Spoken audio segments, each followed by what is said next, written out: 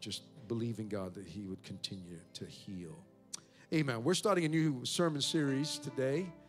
Uh, I'm, I'm borrowing the title of this series from a Christian classic called The Tale of, A Tale of Three Kings by Gene Edwards. And I'm going to be talking about the first three kings of Israel. And I want to take our opening text from the book of Proverbs, chapter 21. If you have your Bibles with you, amen. If you have a paper Bible, that's good. We can stand. If you have use a tablet, that's good as well. If you use a phone, that's fine. If not, you can just look at the screen. Um, Proverbs 21, verse 1 to 2. The Bible says, The king's heart is in the hand of the Lord. Like the rivers of water, he turns it wherever he wishes. Uh, the king being the, the epitome of, of uh, position of, of success, if you will. It says that his heart is in the hand of the Lord. Verse 2, it says, Every way of a man is right in his own eyes. Don't we know that to be true? We, we always think we're right, right? Uh, this was a good uh, topic uh, with a marriage seminar, you know, when husbands and wives have a little conflict. We always think we're right. They need to listen to me. But the says, but the Lord weighs the hearts. I'm going to be talking about as we look into the hearts of these first three kings um, and how it also has implications for us. I want to talk to you about the, the rise and fall of King Saul. The rise and fall of King Saul. Amen. You, you can put your Bibles down, but I wonder if we could pray with me one more time and ask the Lord to bless us. Father, we thank you for your presence here today. Thank you for ministering to us already in this service, speaking to us through the gifts of the Spirit and through this worship service, Lord, that we can sense your Spirit moving in our midst. Once again, we ask you for your anointing to be upon your people and upon your servant. Empower us, Lord. Speak to us, Lord God, even through frail human instrumentality, Lord, even through, uh, uh, Lord God, broken vessels. I pray that you would have your way. We give you thanks and praise here today. We give you all the glory. In Jesus' name, amen. Would you clap your hands one more time and give him praise? Amen. God bless you. Thank you for standing. You may be seated.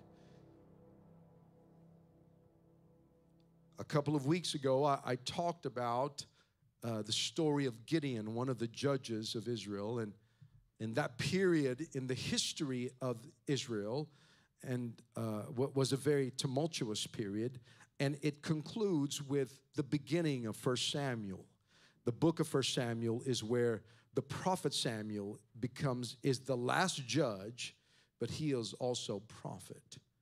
And, and God uses Samuel as a voice to the people of God. Now Samuel gets older in 1 Samuel chapter 8.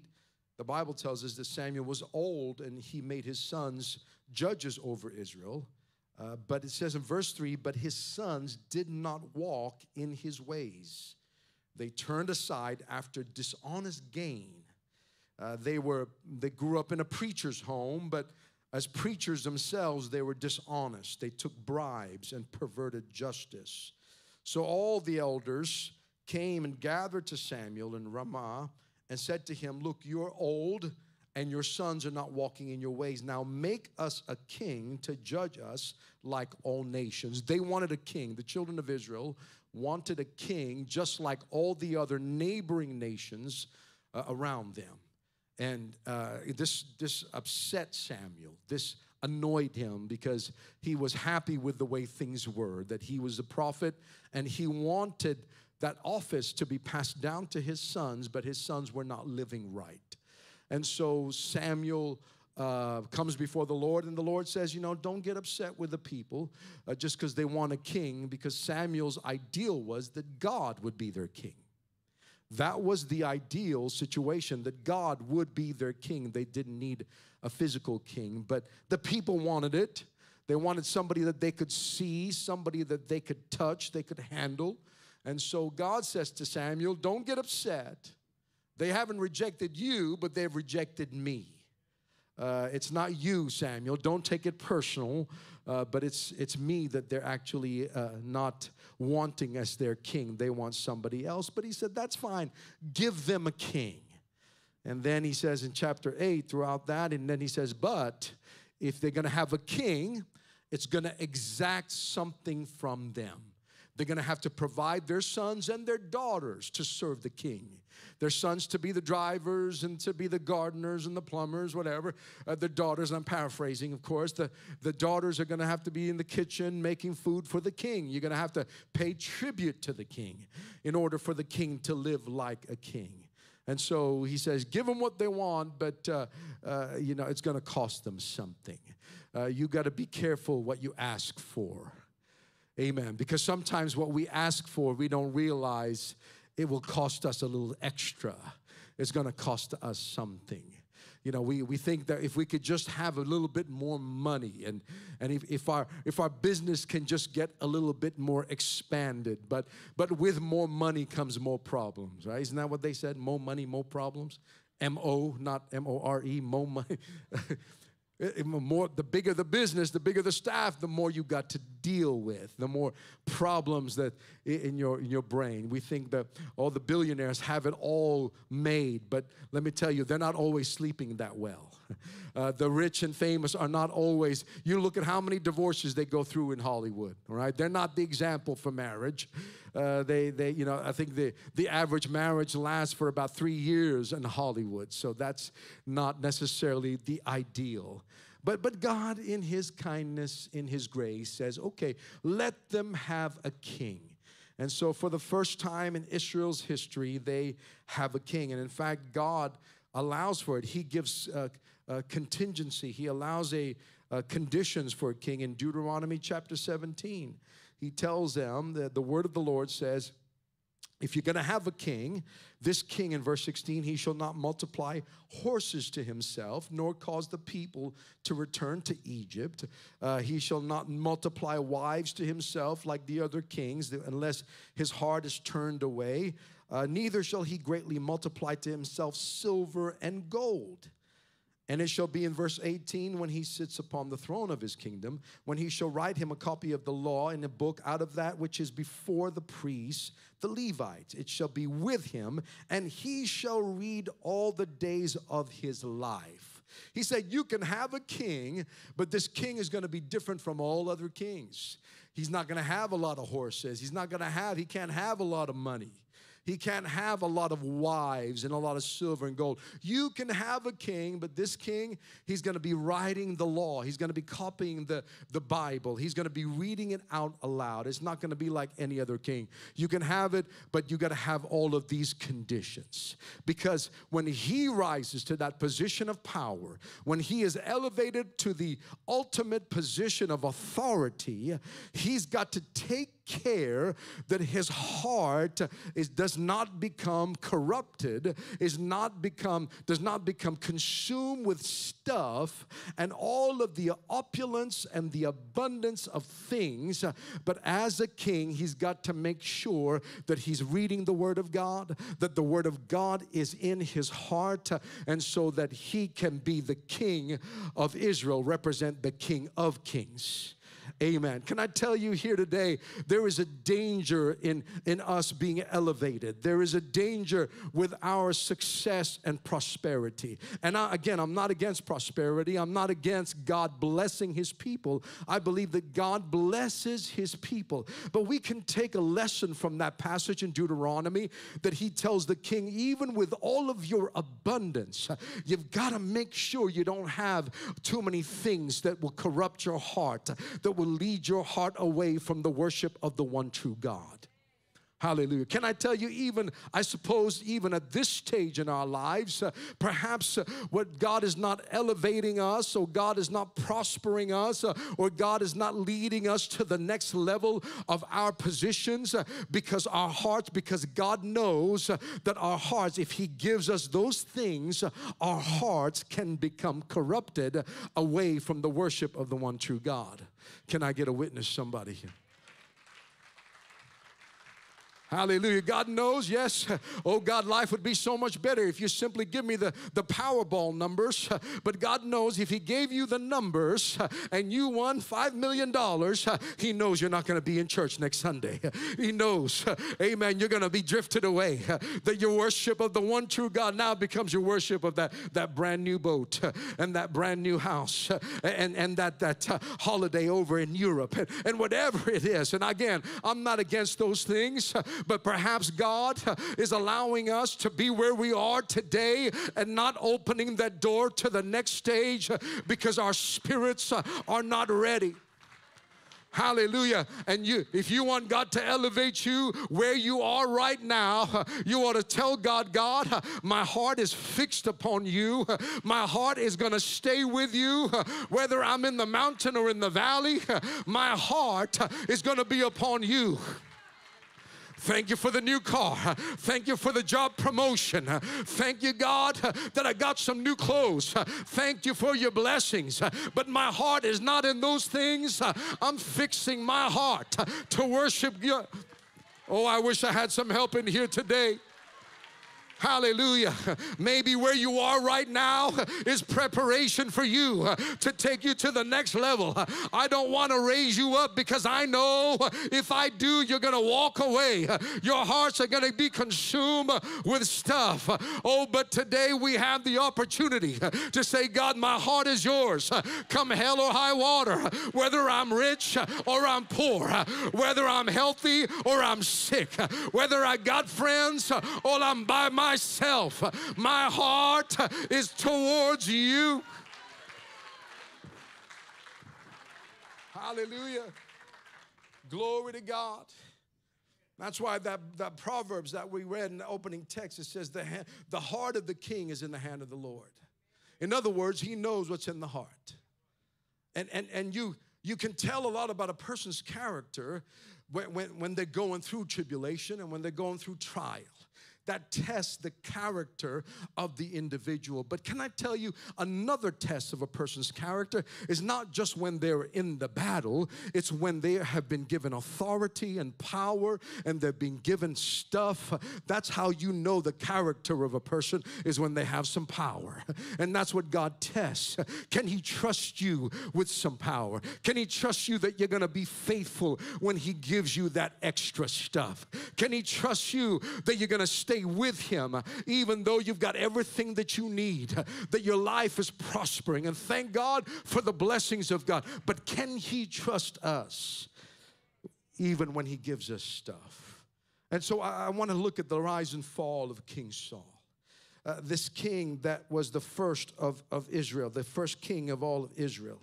Uh, the Bible tells us that, that he had a he had a good good beginning. He had a good start. His rise was one of, of nobility and one that we can take note. The Bible tells us that he was handsome, that he was tall.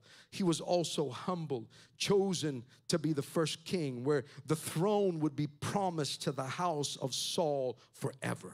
He would have the lineage of the, the royal lineage in his household. But his life would end in this royal lineage being cut off shame for his own children.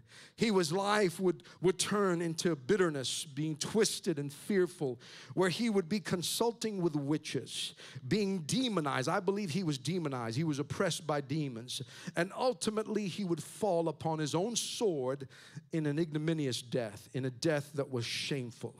Worse than that, he would be rejected by God himself. This was a sad story, but I want you to take note that he started well he started off good, that he was humble before the Lord. And, and, and the Bible tells us that he was a, a, a Benjamite. And, and when he was going off and he came across Samuel, and Samuel gave him the word that he would be the next leader of, of Israel, he said, Who am I? I'm just a Benjamite.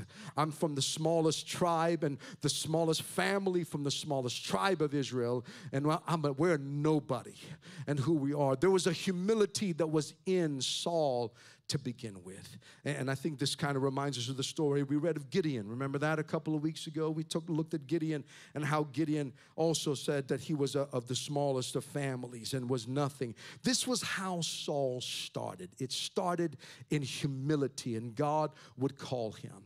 Uh, and one day the story goes that his father lost the donkeys, and the, these donkeys that went missing. So he went out with his servant to look for the donkeys. He looked for these missing animals for three days. Three days, folks. He, this is persistence. I, I, if I lose my keys after three hours, I, am just about to tear my head out, you know, and, and, and turn the whole house upside down. But three days he came looking, and in the process of the three days, he came across the prophet, the man of God, Samuel. And when Samuel came across him, he said, gave him the word of prophecy, and he anointed him as the next or the first king of Israel on that day. He took a flask and first Samuel chapter 10 and poured a flask of oil, poured it on his head, and kissed him, and said, Is not because the Lord has anointed you commander over his inheritance. I want you to take note of that story, brothers and sisters, that it was while he was serving his father's need, while he was fulfilling the need of his father, looking for these donkeys, that God intersected his position and anointed him to be the king of Israel. Hallelujah. Can I tell you, brothers and sisters, that's how it is with us. If you want God's anointing to be upon your life, if you want God's hand to be upon you and His destiny to be fulfilled in your life, it comes when we are serving God. Hallelujah. That's how Saul started. He started off as a servant.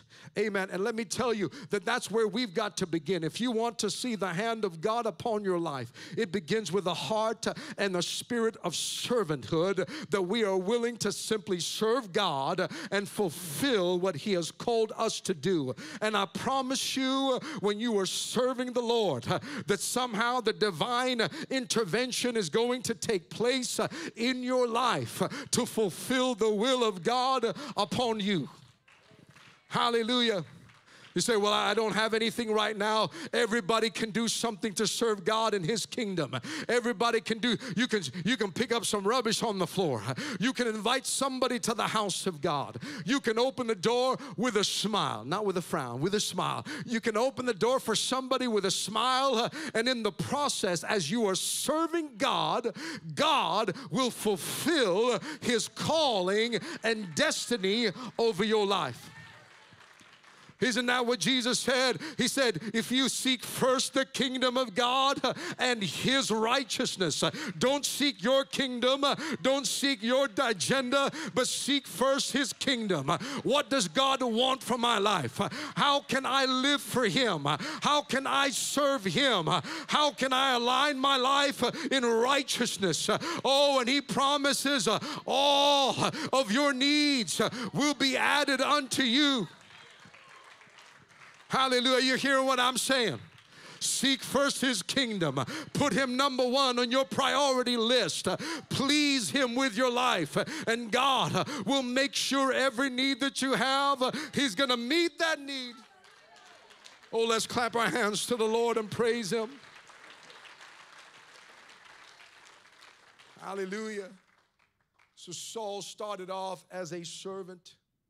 He started off with a sense of humility that he was just from the smallest tribe, from the smallest family of the smallest tribe in all of Israel. There, there was this humility that was found in Saul as a first king. Yet he was, he was handsome, he was tall, head and shoulders above everybody. And then uh, that's, this is, this is when, when God calls him. And so here's what, here's what Samuel says to, to Saul in chapter 10 and verse number 3. He says, Then you should go forward. After he anoints him, you should go forward from there and come to Terebinth, tree of Tabor. There, three men going up to God at Bethel will meet you, one carrying three goats, another carrying three loaves of bread, another carrying a skin of wine. And they will greet you and give you two loaves of bread, which you shall receive from their hands. And after that, you shall come to the hill of God, where the Philistine garrison is. And it will happen when you come there, the city, that you will meet a group of prophets coming down from the high place with a stringed instrument, a tambourine, a flute. They were having a church service, and a harp before them, and they will be prophesying. Then, verse 6, it says, Then the Spirit of the Lord, watch this, will come upon you, and you will prophesy with them and be turned into another man.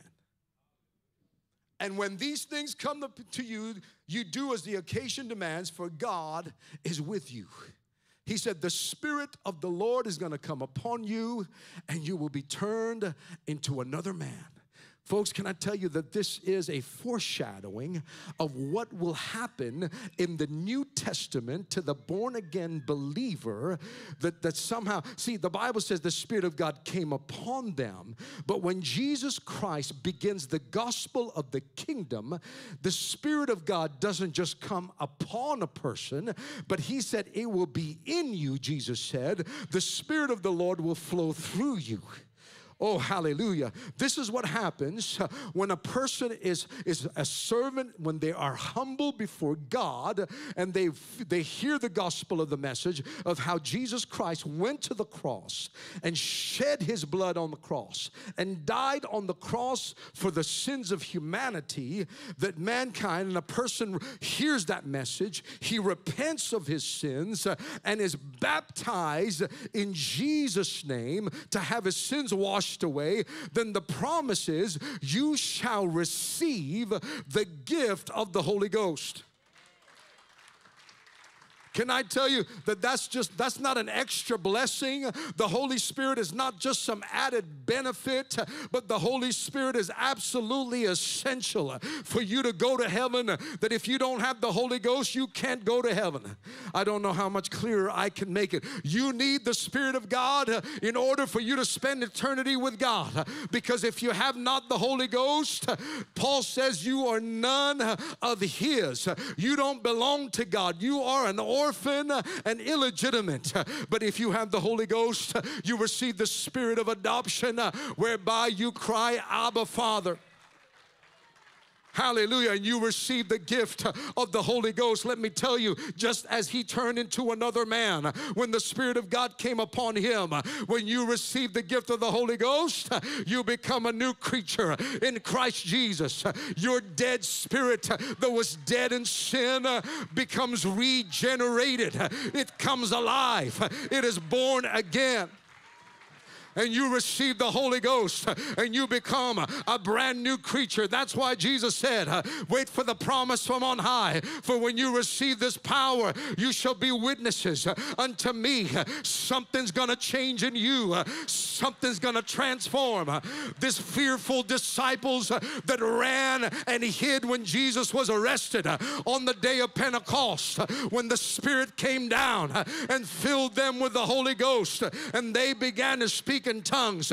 They were empowered. They were changed. They were turned into a new man, into a new person. God will transform your life by the power Oh, hallelujah. I'm excited about that because he didn't just give us some religion and, and some forms and some, some, some services.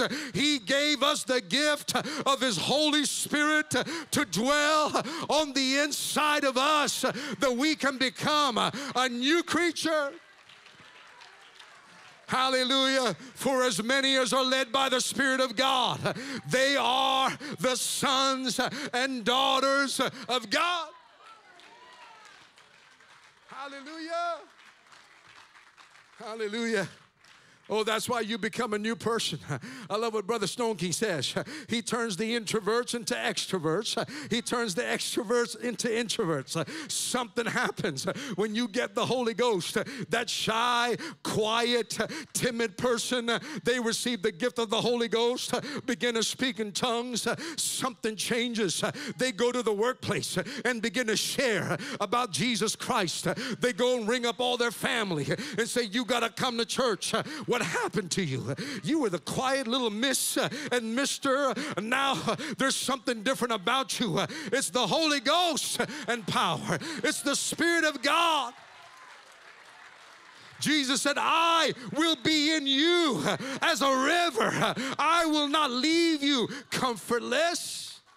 I will come to you. Folks, we're not trying to sell you religion here. We're trying to tell you that it's already been poured out. It's a free gift. We're not selling anything. We're trying to get folks to heaven. It's a free gift that God has already poured out. He started it 2,000 years ago. And can I tell you, you can have the same promise of receiving the gift of the Holy Ghost? Oh, hallelujah. You become a new man.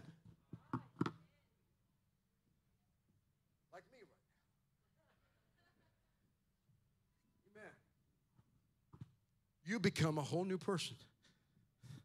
Thank you, brother. Boy, it was freezing this morning. It's hot in here now. He turns. See, I was, I, I always feel like I'm a natural introvert.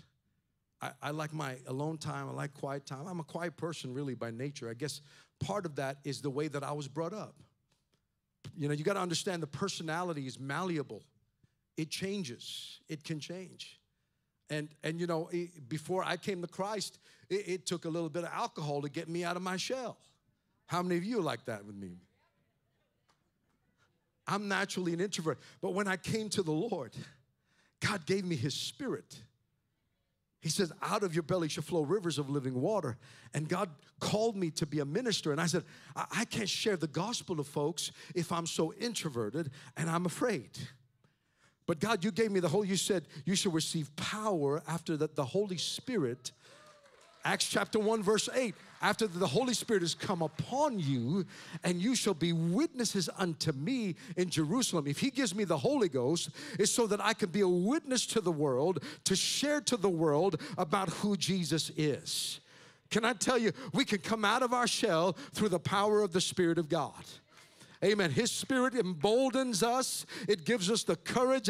And Jesus even said, You know what? You don't even have to rehearse what you say. He said, I'm going to give you the words uh, when you stand before magistrates, uh, when you stand before folks, uh, and you open up your mouth, God will um, supernaturally, He'll start giving you the words to speak, to share the goodness of God.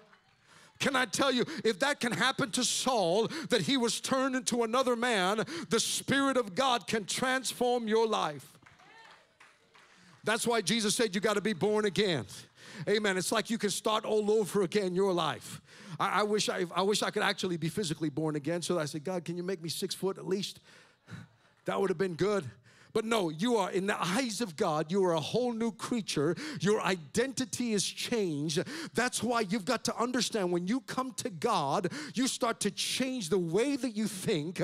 You let the Bible, the Word of God, begin to influence how you see yourself. That when you are born again and you are washed in baptism, the old man is buried. The old nature of who you were before is now buried in water in the name of Jesus. Jesus, never to be remembered again. And that's why Paul says in Romans, when you come up out of the water, you walk in the newness. Oh, hallelujah. Thank God for freshness and newness. You walk in a newness of life. Oh, bless the name of the Lord. You walk in a new life. You're not defined by your past. You're not defined by the mistakes of yesterday. You're not defined by the words of your father and your mother and your caregivers that were negative, that told you you'll never make it, that told you you're a loser, that told you you got no future. No, you can you can reject those in Jesus' name and come to an understanding when the Spirit of the Lord comes upon you and in you, you become a whole new creature. Hallelujah. That's, that's how you, you've got to start to change your identity and how you see yourself. You've got to start seeing yourself as a child of God, as, as a daughter of the king. That's why we're looking at kings. The Bible says we are kings and, and priests. So I'm not, that doesn't mean you go around and say, I'm a king of Australia. You're a king in your own home. In the spiritual, we have authority in the spiritual realm. We are kings and priests.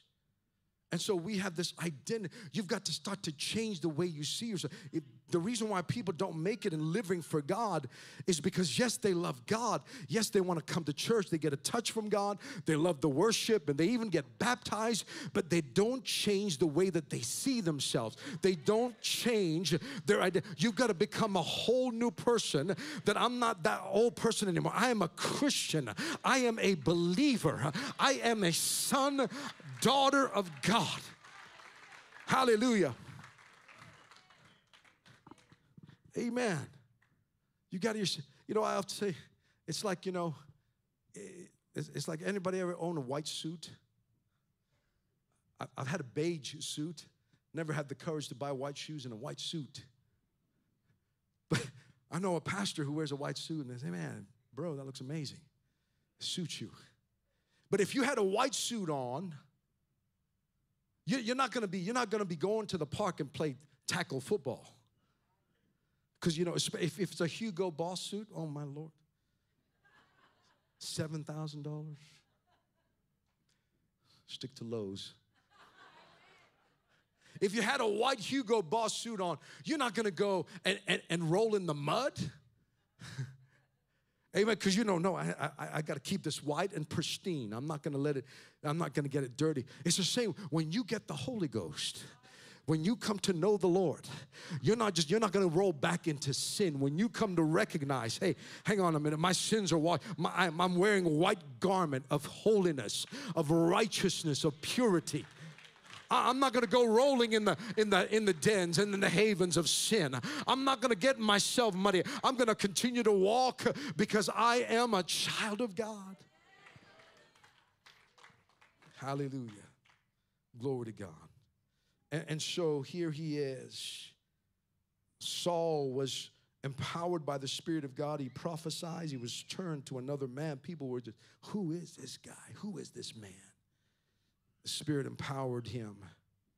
And, and then watch verse number, chapter 10 of 1 Samuel, verse 15. And, and Saul's uncle, he would have evidently heard that, that Saul had come across the great prophet Samuel. And he said to him, Tell me, please, what Samuel said to you. So Saul said to his uncle, He told us plainly that the donkeys had been found. But about the matter of the kingdom, it says, He did not tell him what Samuel had said. He kept it to himself. This was the spirit of Saul. This is how he started. He kept it to himself. Some of us, we would have posted it on Facebook. We would have let social media world know Samuel laid his hand on me. I'm going to be the next king of you guys. I'm, I'm going to be your boss. Sorry, guy. No, he, he didn't say that. He kept it to himself. There was a sense of humility. Say, listen, the, but Jesus said, don't let the right hand know what the left hand is doing. Some people say, well, here I am. I'm about to give to the work of God. Here's my hundred dollars. Everybody. No, you see, when we do good, we don't have to tell anybody. Because God who sees in secret, the Bible says, will reward you openly. Amen. Whenever you do something for the Lord, you don't have to tell, advertise anyone to anybody. You don't have to, you don't have to tell people who you are to validate your your your value, your, your identity. Amen. You let others do that for you. Oh, you know, you don't have to blow your own trumpet. Other people can blow your trumpet for you. Amen. So, so here's my trumpet. Can you blow it? but he kept it to himself Saul started off so well. He was humble, he was small in his own sight, he, he, he, wasn't boastful, he kept it to himself.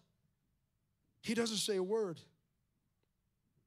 And, and he, he prophesies, and then ultimately he has an opportunity to fight the enemy, and, and, and he's victorious against the Philistines. He calls all the people and, and, and he gathers an army to, to defeat the enemy, and he's victorious in the sight of people. But, but here, here's where I am perplexed about the story of Saul. This, I've been reading First Samuel the last few weeks, and so uh, I think we can learn from the story of the kings because the king is, is the highest position that one could ever attain in the land of Israel. And, and our ultimate test is a test of heart of not just when you're in trouble, but when you've when you've reached the top, as it were. And, and Saul eventually he, he would eh, there's no there's nothing in scripture to point to the to where it all changed for him. Perhaps it was when he was in the palace now. He was the king and he was getting served. And, and he was, you know, people were waiting on him hand and foot, serving the king and, and giving everything that he needed. Perhaps it was the comforts of the position that he was in that caused his heart to somehow drift away from God. It does, there's not one point. He would eventually die. The Bible says he would be shot by an arrow. And from that wound, he would take his own sword and kill himself. And he would, he would kill, he would commit suicide. It was not an honorable death. It was not like the Japanese samurai seppuku or harakiri, whatever you say. It was a dishonorable death. But I submit to you, the Saul's demise happened long before that day when he took his own life. It was a it was a series it was it was an, a gradual drifting away of his heart away from god and the little things that, that he allowed to creep into his heart you see one of the things that, that god could have everything in this world he spoke the world into existence but there's one thing that he doesn't have and he says that in his word son give me your heart give me your heart he can have everything in this world but one thing he cannot take possession of unless we give it to him willingly is this is our hearts. So Saul walked away, drifted slowly, gradually, eventually killing his own self, rejected by God, drifting away from the Lord. What started out so good ended in, in such dismay and, and, and tragedy, misery. His sons would not inherit the throne. Jonathan would be killed on the battlefield, his son, David's best friend. All because this man who had it all allowed his heart to slowly drift and be corrupted away. The first instance we read is when he came across the Philistines again for battle. And, and the, what they would normally do, they would make a sacrifice to the Lord and then they would fight the battle because once they made the sacrifice and God could bless them. Sacrifice meant repentance. And so Saul did something that, that he wasn't, he didn't have the authority to do. He decided to undertake the sacrifice himself, which was reserved only for priests and prophets, because Samuel was just taking a little too long. And, and he couldn't wait for Samuel to come. So he took it upon himself to undertake and officiate the sacrifice. Something that was a sin wasn't allowed for for him. It was only allowed for priests. And when samuel came he was only late. I don't know. He came that same day. Samuel was there at the same day and he came. He says and he said to saul what have you done and, and, and here's, here's what's perplexing about the story is that he did something that he wasn't allowed to do but david did the same thing david ate of the shewbread that was only allowed for the priests. He took the bread, and yet God forgave David, but yet God rejected Saul. They were both, they both committed what we would call ceremonial sins against the Lord. One was forgiven, and yet one was, was rejected. In fact, if you look at the story of David, what David did was so much worse than Saul's. David committed adultery. There's no record of Saul committing adultery. David killed a man. He killed Uriah, the husband of the woman he committed adultery with, essentially committed murder. Saul didn't say he committed any murder. Yet God forgave David, but he rejected Saul. Why? Because there's something in the heart of a human being that only God sees, that only God knows. The heart of the king is in the hand of the Lord. He is an, ex- an Old Testament example of what we call a reprobate mind in the New Testament. A reprobate mind is a mind that is so corrupted that it cannot think godly, that it has been totally rejected by God. That's why he was rejected because he did not allow God into his heart, into his mind. He became so corrupted with what was going on around him that he fell out from God. But here was David, even though he committed sin, when God confronted him with the word. He said, You are the man. He fell to his face in repentance and cried out to God, and God was forgiven. I don't know what it is, folks, brothers and sisters. I'm preaching about the human heart. I'm preaching about something that only you and I have ownership of within inside of us. I pray, God, don't ever let me have a reprobate mind. Don't let me have a mind that is so arrogant and filled with pride that I can't hear your voice any longer, that it is drawn away from you. Oh, but let me have a heart. And let me tell you, it doesn't matter how deep in sin you have been. If there is inside of you a heart that says, God, I believe you. God, I surrender myself to you. I submit my life into your hands. I promise you, forgiveness will flow. His mercies, the Bible says, are from everlasting to everlasting. They are new every morning.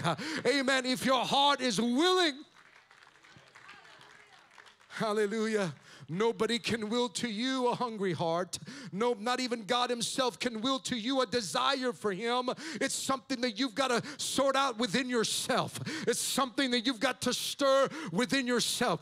God cannot make you follow Him. But if you are hearing the sound of my voice today, hearing the word of the Lord, and you can take this heart and say, God, here it is. God, I surrender. Do what you will with me. Create in me a clean heart heart, renew a right spirit within me. Cast me not away from your presence, neither take thou your Holy Spirit from me, but uphold me with your free spirit. Hallelujah.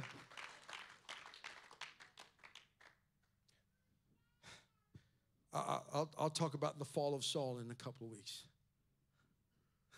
But the rise of Saul was good. But remember, it's not how you start in this thing that matters, it's how you finish. You will not get rewarded even if you had an 80% of your life is good, but the final 20%, there's no reward. Jesus said, He that endures to the end shall be saved. Hallelujah. I don't know who I'm talking to right now. But you've got, you've got to give your heart to God. You've got to surrender your heart to the Lord. Maybe a reprobate mind is like a, what it's called myocardioplasty. It's when the fibers of the heart become stiffened. It becomes hardened and usually leads to a cardiac arrest. It's possible for the vital organ of the heart itself to become stiffened, that it doesn't allow any blood to flow. It's possible even as we get older, we become stubborn in our ways. We become hard hearted. We become impatient with God. But let me tell you, sometimes time is God's tool to develop something in us. Yes, we can handle persecution, we can handle tribulation, we can handle sometimes unanswered questions. But sometimes it's the waiting, like that song that we sang, waiting on the Lord. It's sometimes the waiting that is the most difficult and challenging. Can you stay still? That's a test of your maturity. Amen. Babies aren't going to wait for you. When, when babies want to get changed, they're nappy. They're not going to say, oh, well, I better let mom and dad sleep through the night and I'll let them have eight hours and then they can change me. When baby's hungry, they don't say, well, I'll, let mommy just, you know, uh, uh, just have her meal first and then I'll, I'll just quietly wait. No, when, when they, babies don't have patience. When they're wet now, they're wet right now. when they need to, when they're hungry now, they're hungry right now. But when the child gets a little older, mom and dad says, no, you got to learn to wait, son. Wait before for your meal, no snacks before your meal. And that's the same with us. What God wants to develop maturity in us, can learn to wait. Say, God, I, I don't have to have my problem solved quickly. I don't, I don't have to have that job straight away. I don't have to have this, that, or the other straight away. I can learn to wait upon you. For they that wait upon the Lord, well, what does it say? Shall renew their strength. They shall mount up with wings as eagles. They shall what? Run and not be weary. Walk and not faint. When you can learn to wait on the Lord Be patient. Be humble. Be trusting in God. Musicians, you could come. Hallelujah. The Spirit of God is here today. The Spirit of the Lord moves upon a heart that is hungry and thirsty. That's what Jesus said in that day. He says, If any man is thirsty, often we forget that part and just focus on out of their belly shall flow rivers of living water. I think the operable word is thirsty. Because if you're not thirsty, you're not going to take a drink. If you're not hungry, you're not going to want to eat. But he said, If any man is thirsty, let him come to me, he says, and drink. And out of his belly, when you take a drink, out of your belly shall flow rivers of living water. Amen. This spake he not of literal water, but of the Holy Spirit. He, he, he likens the Holy Ghost to water, to drinking. That if you are thirsty in your spirit, God can fill you if you take a drink. If you believe, you can take a drink. I was in Canberra a few weeks ago. There was a lady there. She was Persian and uh, uh, from, from Iran. And, and, and, she, she didn't know about this God. But, but, she, but she was telling me after service, that God filled her with the Holy Spirit speaking in tongues. Because the lady who is, she's actually the, her friend who brought her, she's Croatian started praying for her in tongues. And when she was praying for her in tongues, she said she started speaking in her native Farsi, native Persian. She said that absolutely blew me away. And, and what the message in Farsi was in clear Farsi, she says, Look unto me, look unto me. And when she did that, God filled her with the Holy Ghost, speaking in other tongues.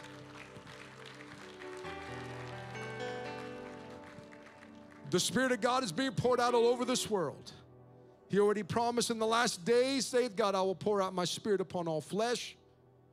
Says your sons and daughters are going to prophesy. I'm telling you, sometimes when we don't know what to pray for, Sometimes when you don't have words for what you're going through, pray in the Spirit. Romans chapter 8, the Bible says the Spirit of God makes intercessions for us with groanings that cannot be uttered, when you can't put even words.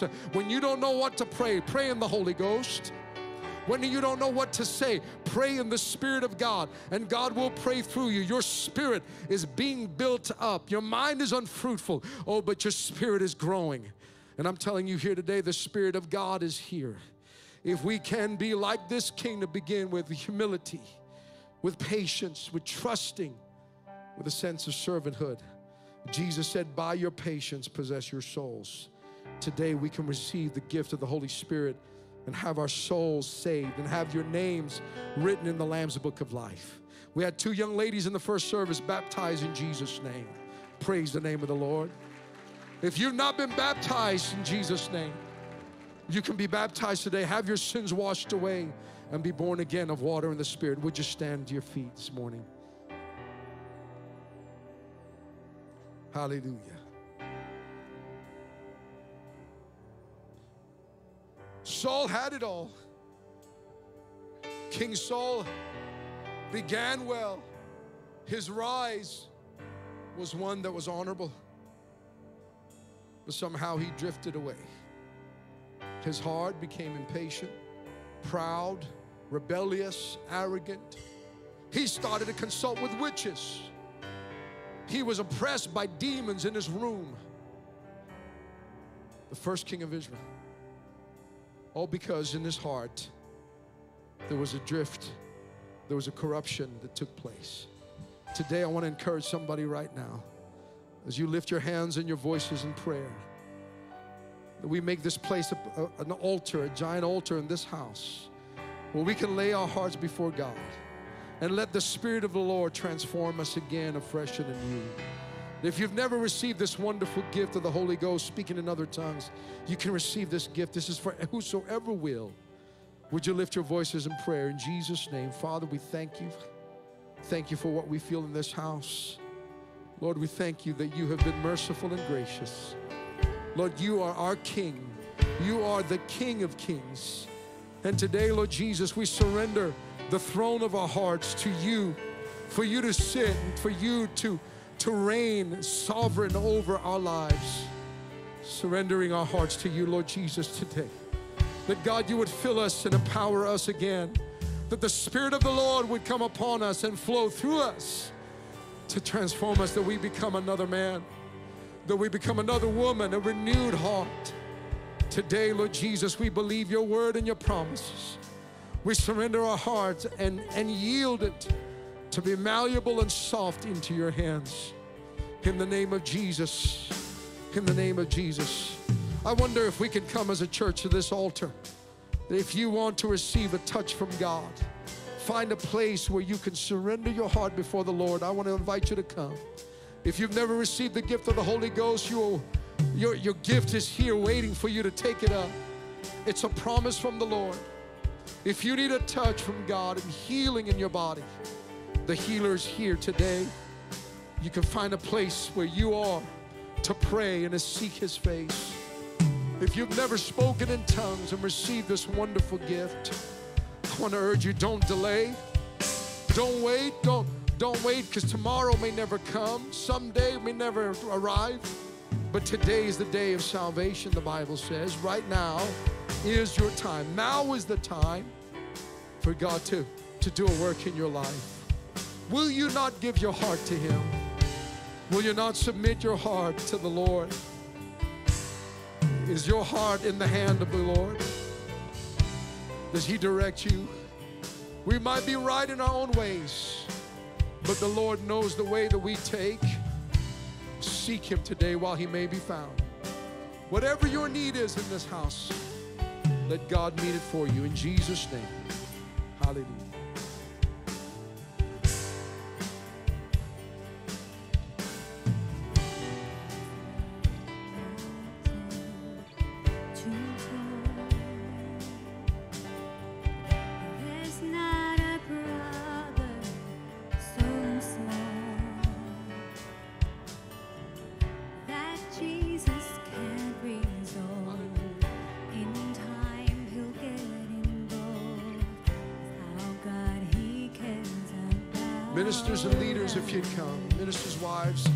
Group leaders and wives, please come. Pray for those that are here.